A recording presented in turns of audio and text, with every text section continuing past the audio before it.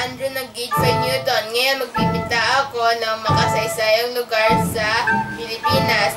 Ang mga kagamitan natin ay papel, lapis, poster paint, at paintbrush.